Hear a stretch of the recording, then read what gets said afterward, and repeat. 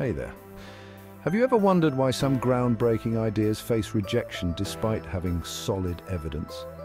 Today I'm diving into the Semmelweis effect, a fascinating cognitive bias that reveals our reluctance to accept new evidence that contradicts established beliefs. Named after Ignaz Semmelweis, a 19th century Hungarian physician, this effect illustrates a crucial barrier to progress. Semmelweis discovered that hand washing with disinfectant drastically reduced mortality rates in hospitals. You'd think such a life-saving discovery would be welcomed, right? Wrong.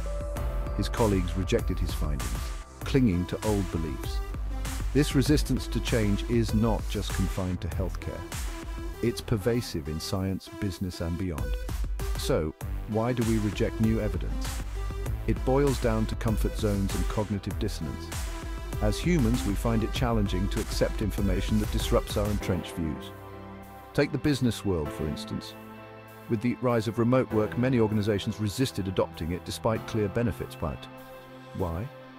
Because it challenged traditional notions of productivity and control. So how can decision makers overcome the Semmelweis effect? First, embrace humility.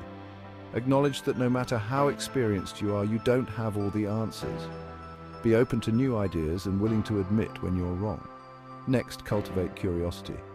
Ask questions, seek diverse perspectives, and challenge your own assumptions. Encouraging a culture of experimentation can lead to groundbreaking innovations. Remember, it's not about being right, it's about getting it right. Lastly, integrate new evidence into your decision-making process.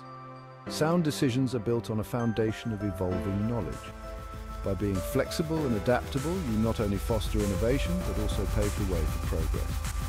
So let's all strive to recognize our biases and be open to change.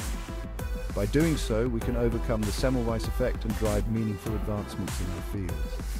Thanks for watching. If you found this video insightful, don't forget to like, comment and subscribe for more content on innovative thinking and decision making. Until next time, stay curious and keep pushing boundaries.